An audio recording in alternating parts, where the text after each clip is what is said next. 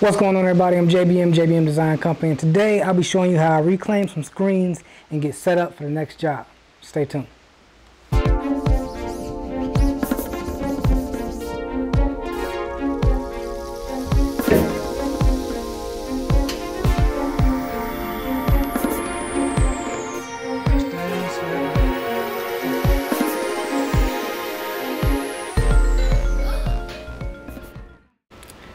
All right, so the first thing you want to do is here are the screens that we will be reclaiming, except for this one. But as far as the rest of them, first thing you gotta do is make sure you clean off all the ink. Then you gotta remove the tape, which I haven't done. Since I'm not reclaiming this screen, I got an extra screen here, which is a 160 mesh, which is what I need for a job coming up. All right, so I'm gonna get the tape off and I'm gonna show you how to get all the emulsion off. Here's the thing about ink. You're always gonna get it on your hand. No big deal.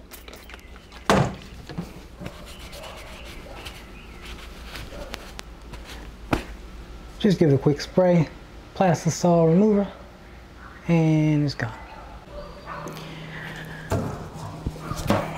I'm gonna get this 160 mesh first put it in here. Oh, and this rack came from the dollar store. Use your resources, save some money. I got a dedicated sponge that I like to use for my emulsion. And I just like to get both sides wet.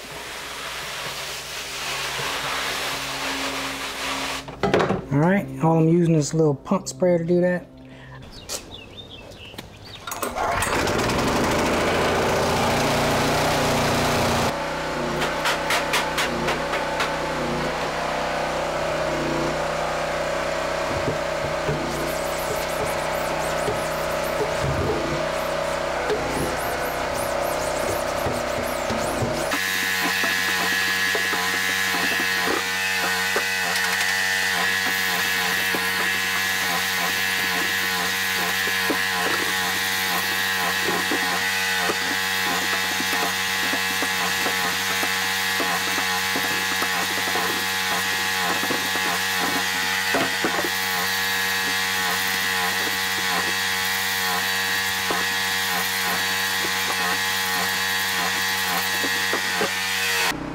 Like to put the uh, emulsion stripper on there and just rub it so I can agitate it enough so I can see the emulsion starting to loosen up and start to smear on the screen if you can see it.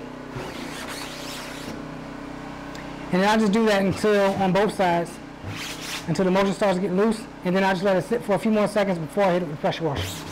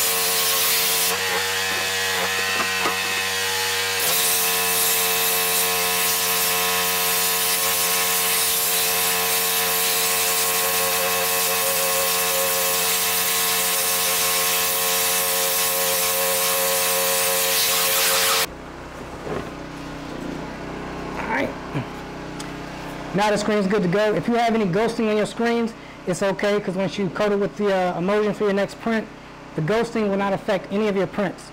But there are chemicals that you can use to remove the ghosting images on the screens.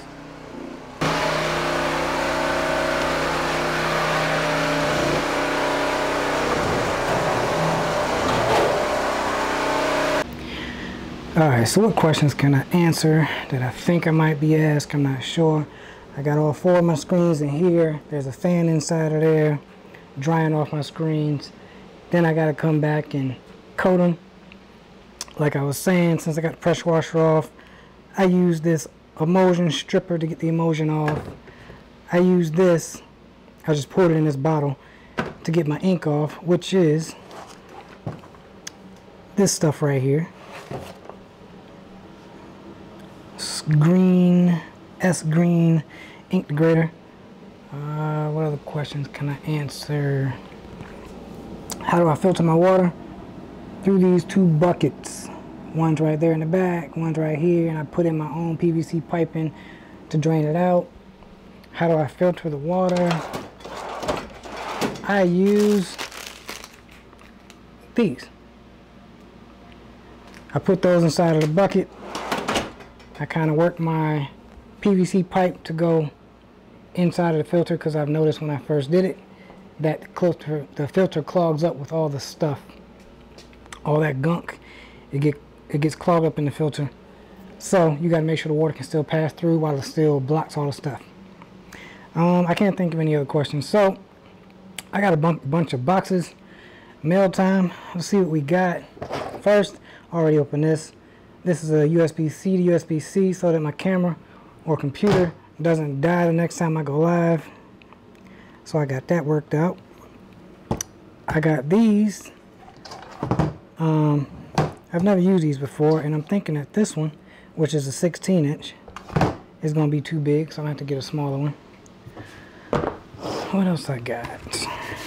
Inside this box. Hats. And hats. And one hat by itself. Cool. So this is uh, the Yupoong adjustable strap in the back, the uh, the twill cap.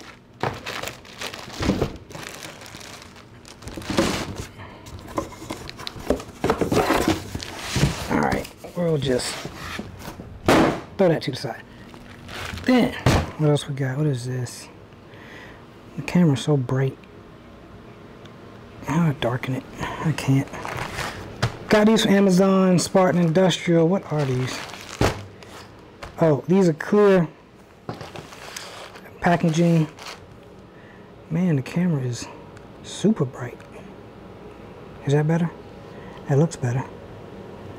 Alright, so these are just packaging to put shirts in. 12 by 18. Actually, I got these for hoodies. I got a smaller size for shirts. Also bought these 10 by 13 so I can ship off shirts. Also got that off Amazon because the ones that I have are very large. And I didn't feel like sending my customer stuff with a bunch of uh, dead space. What are these? Uh,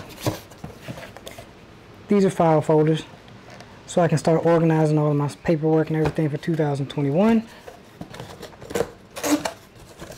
organize the office upstairs because right now it's a hot mess. And these, what do we have here?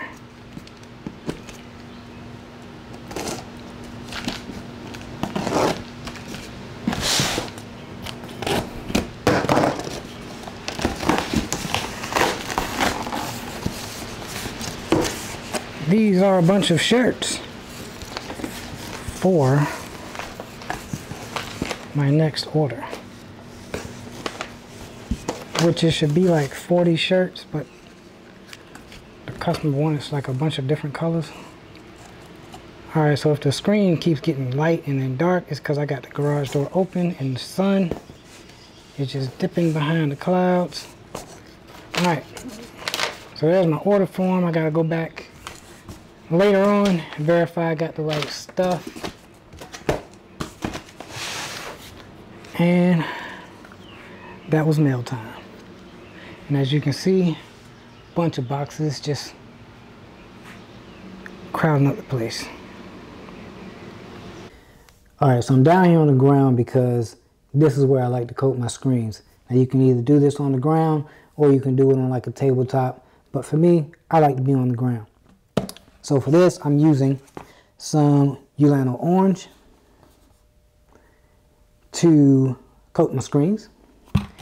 And what I like to do is just take it give it a quick little swirl, you know, disturb the little molecules or whatever's inside of this bucket. And then I get me a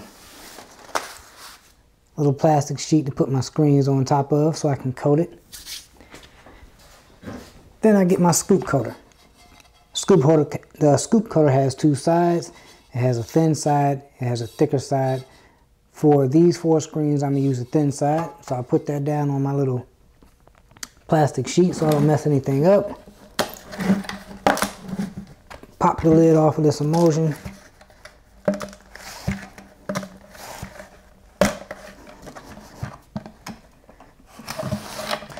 I don't remember if I just said it, but on camera, it probably looks a lot brighter than it actually is in the garage.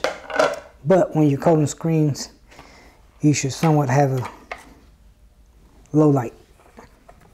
Obviously, because this is light sensitive. So you take this and you turn it this way so you can see it. Make sure I got everything on the screen.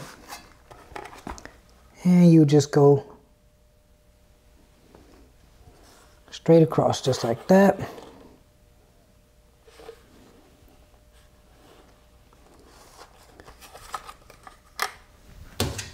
Then I'm gonna get one of these and just scoop the rest of it out. Makes for an easy cleanup so it's not dripping down the side of the bucket. All right, I'm just gonna set this to the side for now.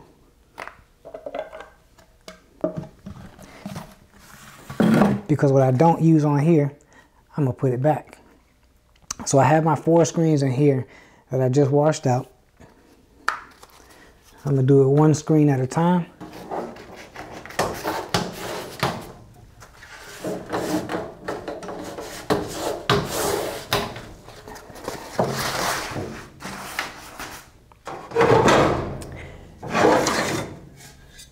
All right. So I'm gonna do one coat on each side. Make sure I have the right side.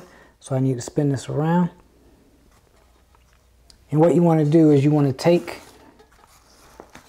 your scoop coater, fit it inside the screen, put it all the way to the bottom, and you want to tilt it. Tilt it so the emulsion up. Let me get the light back on.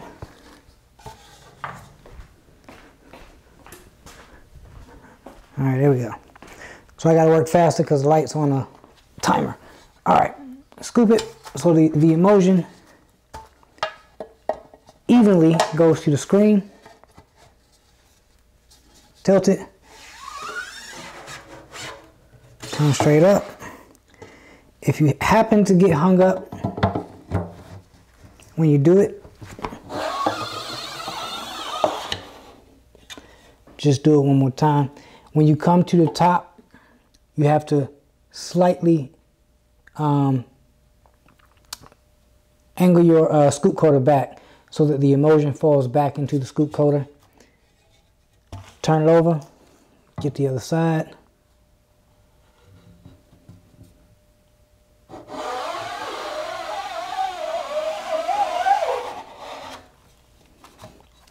That's one screen.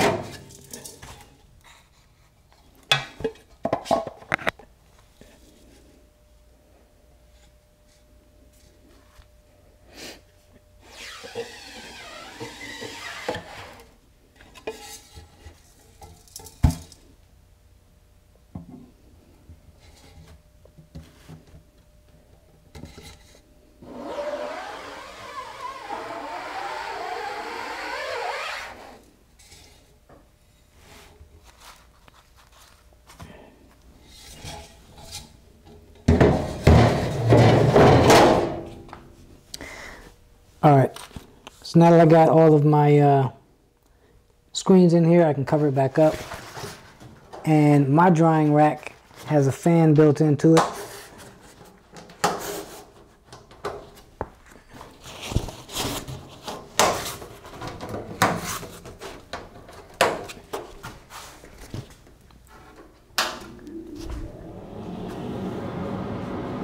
So you can probably get a fan running. I'm gonna leave that in there. Give the uh, screens time to dry. And then tomorrow, I'll be ready to burn my image. So for this, what you wanna do is get your bucket.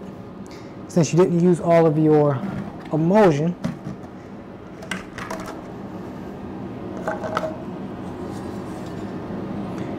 and you want to just carefully dump this stuff back in there. Because you get to reuse it.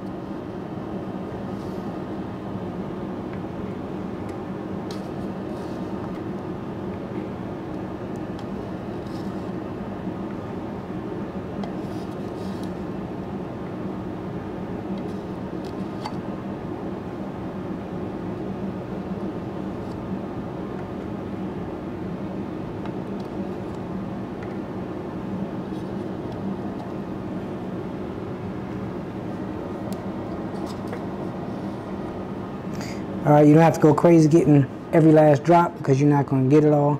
But for me, that's good enough. I got most of it out. Now I'm going to close this up first. All right, so now that I have my emulsion put up, I'm gonna put on a glove. Put on this other glove.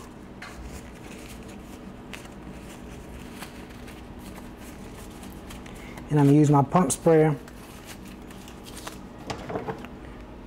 to basically wet this. Use my hand with the glove and just work that emulsion. It comes right off.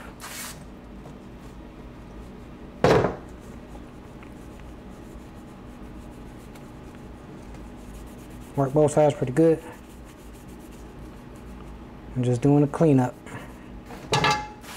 Spray it.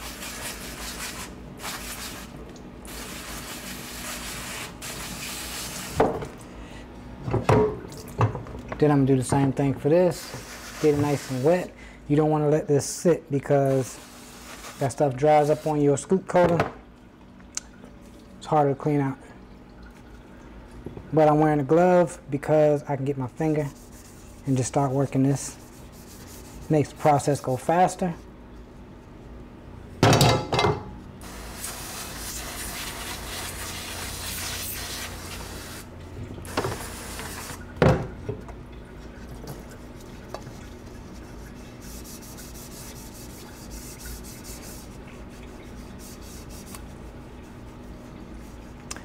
Now, I'm pretty sure there's other ways to do this, but this is just the way I do it.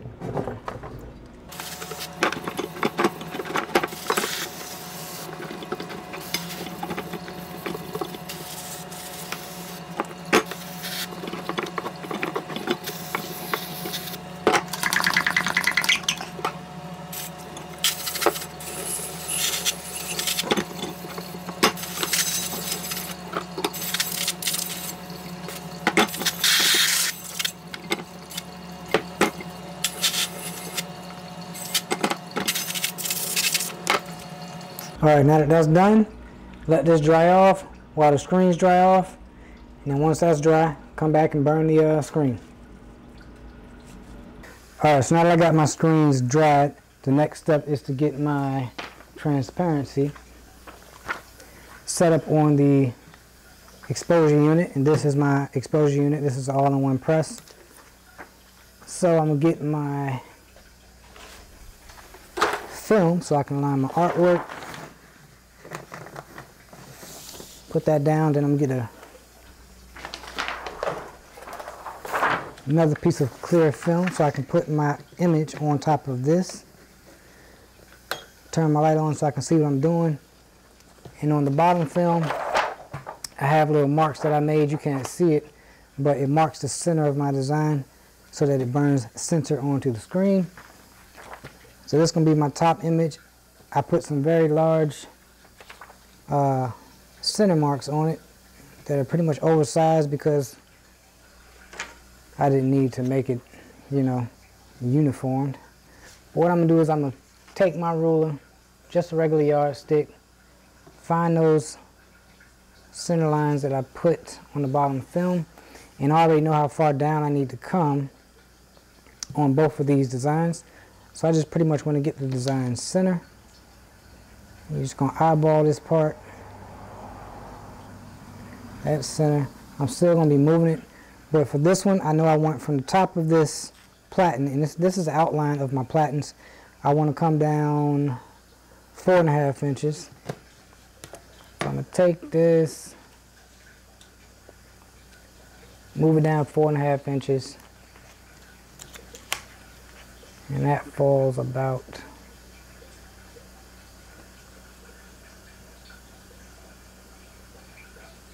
about right there. And then this one on the bottom, I'm coming down 10 and a half inches.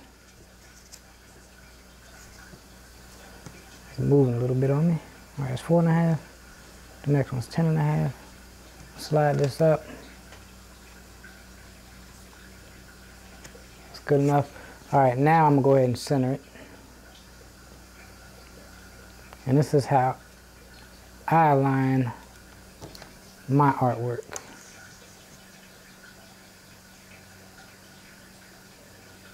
Once I got that pretty center, I get my tape.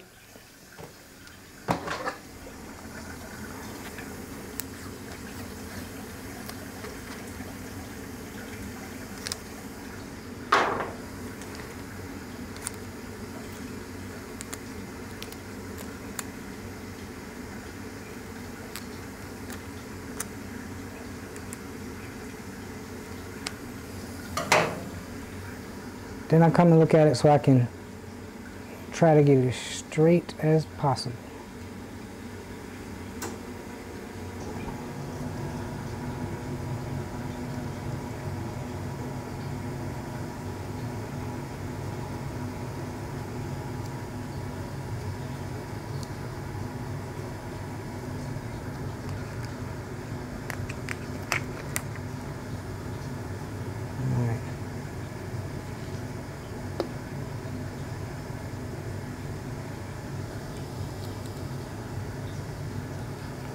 Now that I got it straight, I'm gonna go ahead and put this tape on it so it doesn't move. And that takes care of the top one. Now I can focus on the bottom print. Or the bottom transparency. Make sure my oversized hash marks are pretty centered. I'm gonna say that that's good. Again, I'm just eyeballing it, not spending too much time on it. Oh, I just lost my piece of tape.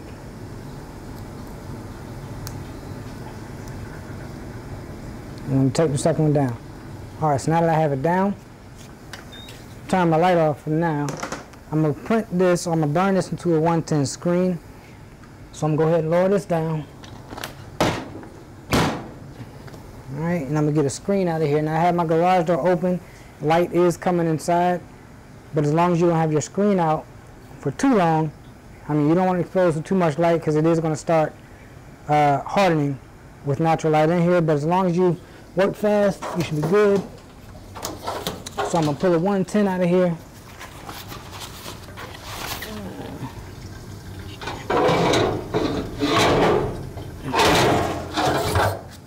We'll just go with this 110 right here, the front one that's on top.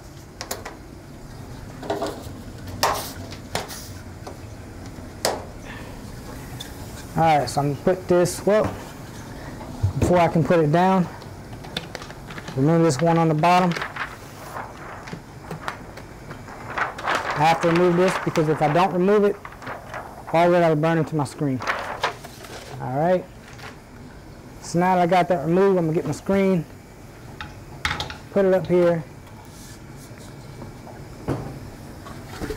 I have this that goes over the design. I like to put a black bag over top of the whole area. This is just something that I do. Not necessary, but you do need some kind of weight to press down to make sure you have a nice flat area pressing down on your screen or down onto the glass. What I like to use is an old rotor from a car.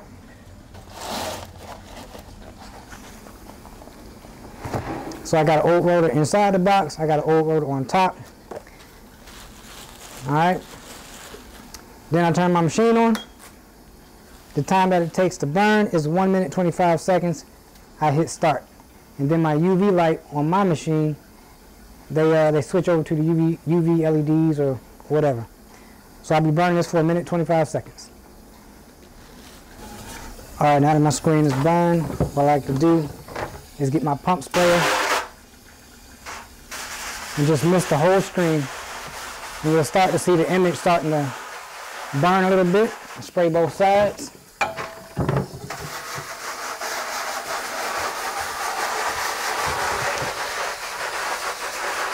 The reason I like doing my, uh, my pump spray is because the water pressure is very light. I don't have to worry about blowing my image out. And it also allows the emulsion to weaken.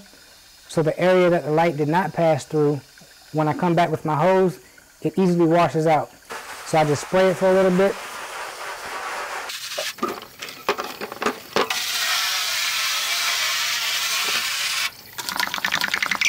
I spray it until I start seeing the emulsion starting to break down and start to come down the screen. You don't necessarily have to. You can just let it sit for a little bit.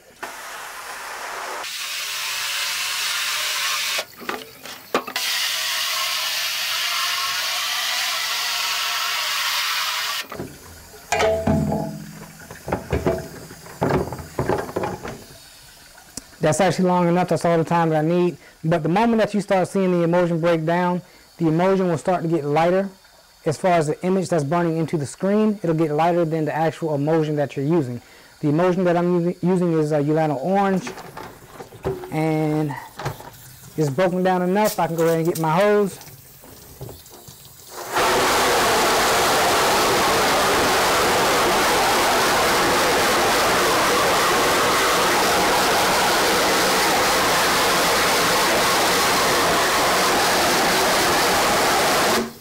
spray both sides.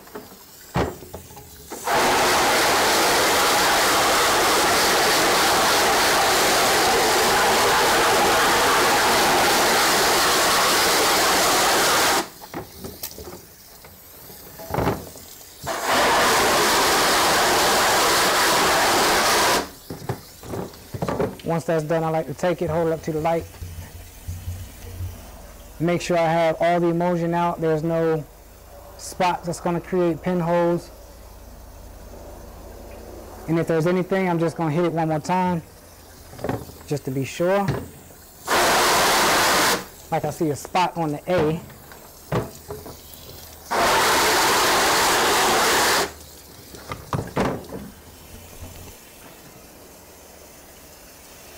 All right, we're good. Another reason why I like to use my pump spray is because I don't have to come back and use as much pressure when I wash all that out. So if you can see this, everything is out. Now what I like to do is come back behind it with the shirt, take it upside down, and just dab the areas that I just washed out.